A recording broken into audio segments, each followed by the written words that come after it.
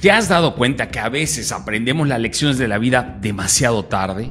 Te tengo que confesar que de las lecciones de las cuales te voy a hablar en el podcast del día de hoy, yo las aprendí tardísimo y eso afectaron demasiado mi desarrollo profesional y personal y no quiero que te pase a ti.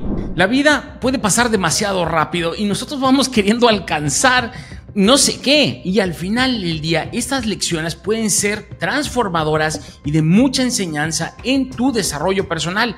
No te las puedes perder, no esperes a que te suceda para que aprendas. Así que hoy te voy a hablar de las 10 lecciones que aprendí demasiado tarde en mi vida y que me afectaron. Para que a ti no te afecten, quédate porque este episodio es de los que vas a disfrutar muchísimo porque va a transformar y puede transformar el rumbo de tu vida. No se diga más. ¡Venga!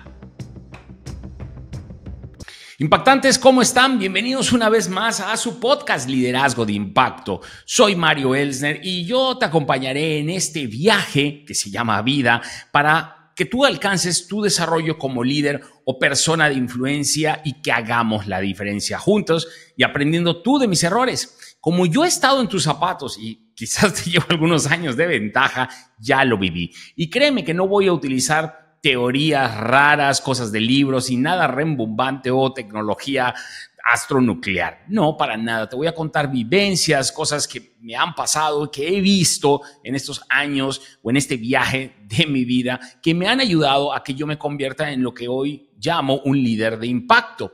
Como bien sabes, no hay una fórmula secreta pero lo que sí existen son habilidades, experiencias, mentores y cosas de las cuales uno puede ir aprendiendo para que no seamos el líder perfecto porque no existe, pero que sí seamos mejores personas cada día y de ahí quizás podamos ser un líder con el que todo el mundo quiere estar. Pero quitando ese choro, vamos a hablar del tema de hoy que es sumamente apasionante. 10 lecciones que he aprendido con el tiempo que de cierta forma pudieron haber cambiado mi vida si las hubiera aprendido quizás unos segundos antes.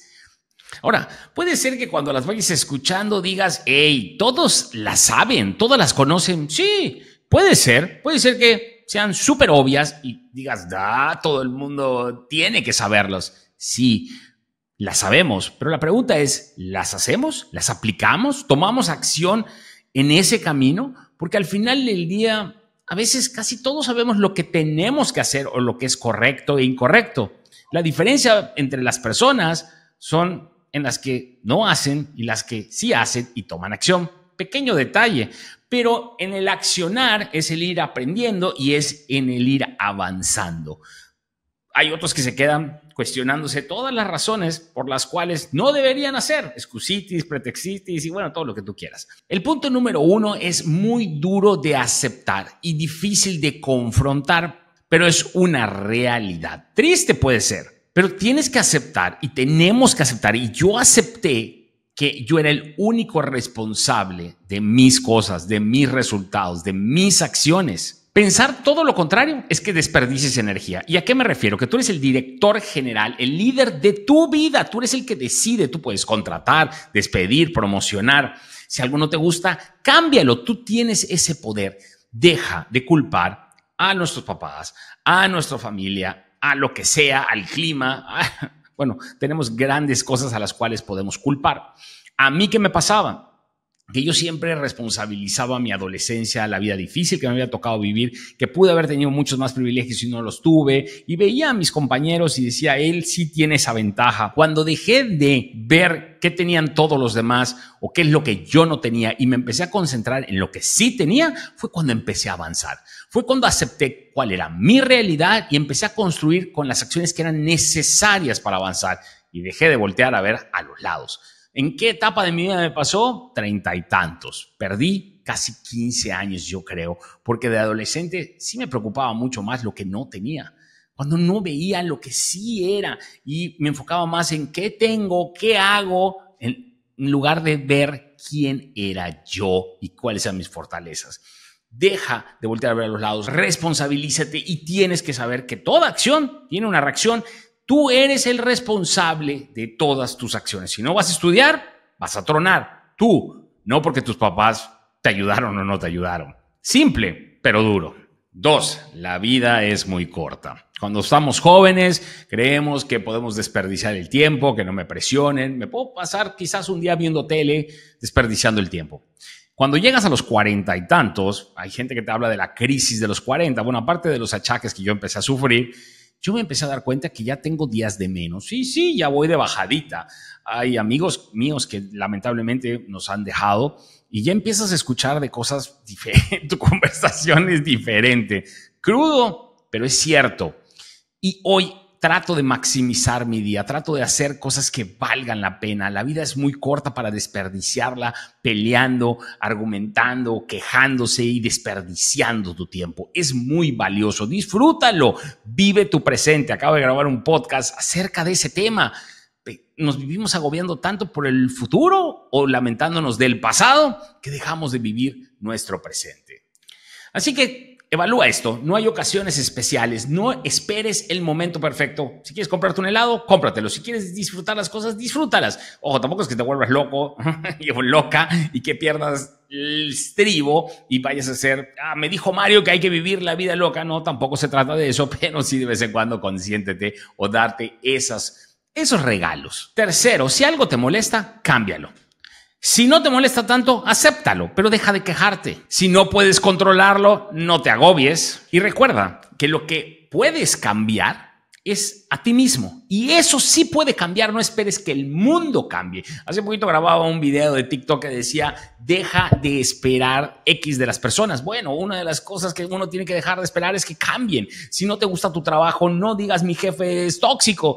No esperes que él cambie, no creas que él va a cambiar, él tiene que hacer su propio viaje y hay gente que no cambia. Yo siempre trabajo con lo que yo controlo, que es un servidor. Y si puedo cambiar de trabajo, de decisión, de actitud, es eso. Acá lo que hay que tener mucho cuidado y de verdad se los digo con todo el cariño del mundo ustedes no cambien para mal porque otras personas no cambien. Si mi papá no me trata bien, si mi jefe es tóxico, ustedes no se vuelvan tóxicos. Si mi jefe es tóxico, yo me voy a volver por eso mediocre. ¿De verdad vas a sacrificar tu talento porque él está mal o porque ella está mal? No, para nada. Ustedes no cambien.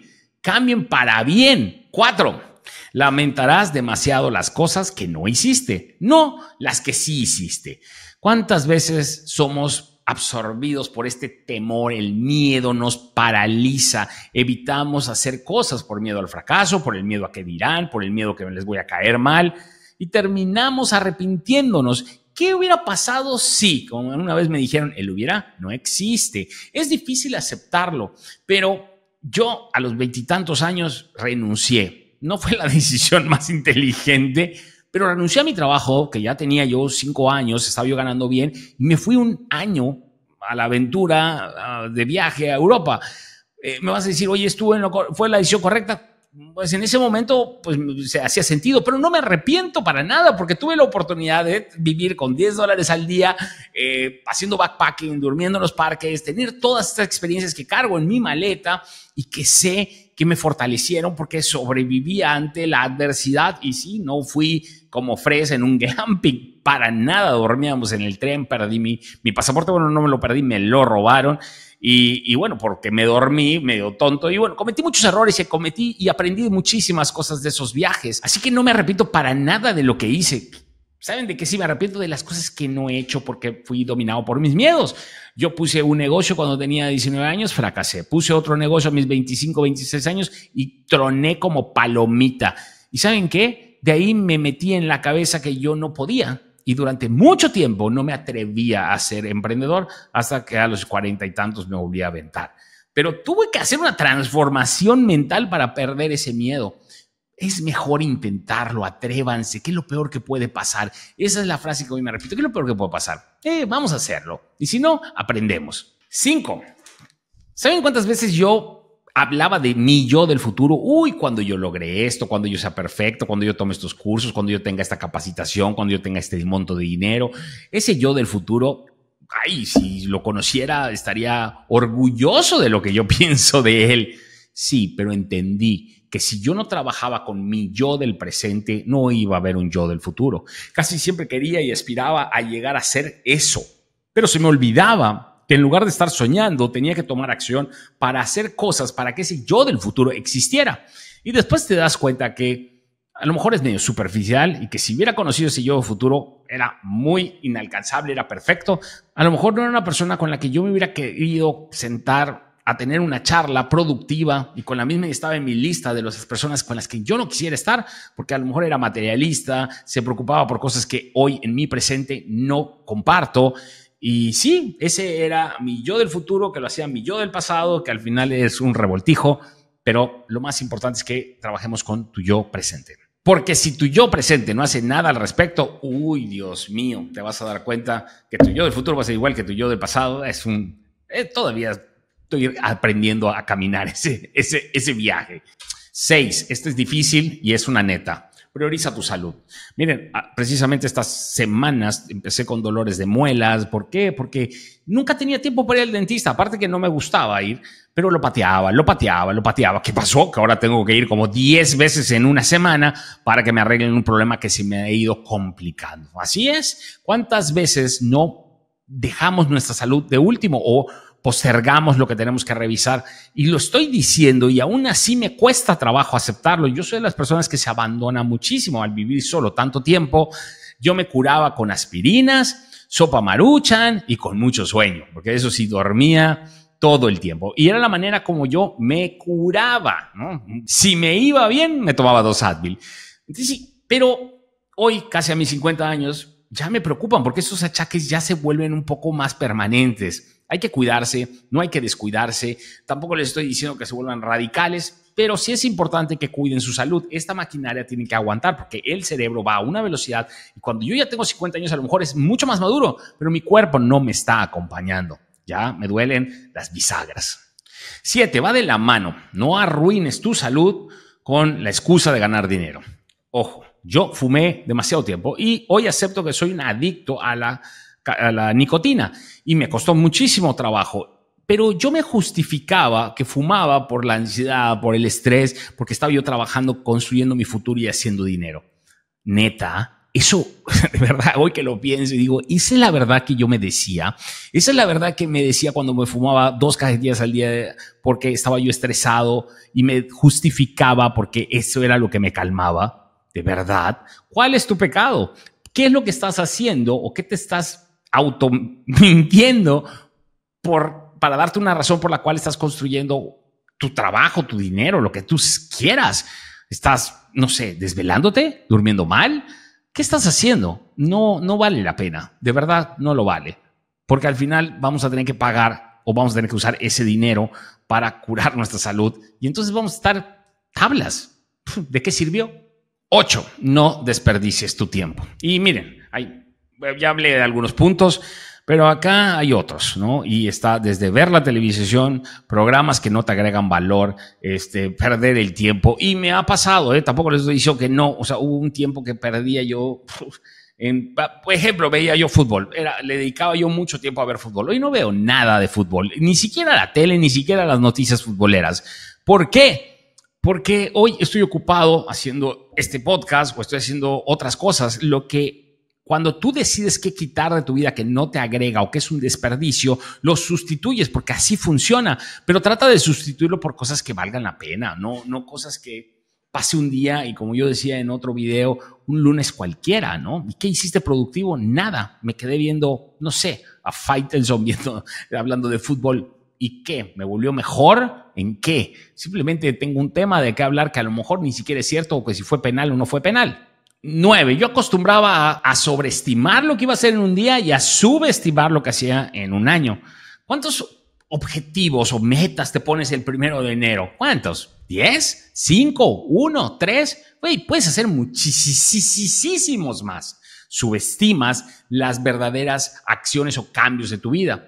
Y por el otro lado, si ves mi agenda o veías mi agenda antes del día, quería hacer 20 cosas. No es ni uno ni otro el chiste es hacer dos actividades diarias poderosas que cambien tu vida, que muevan el tablero, que muevan, que literalmente hagan la diferencia, que hagan un cambio y poco a poco te vas a dar cuenta que en tu año vas a tener muchos más logros y logros grandes, pero es hacer menos, más poderosos en tu día, pensando hacer más cambios en tu año. Y esta es de pilón.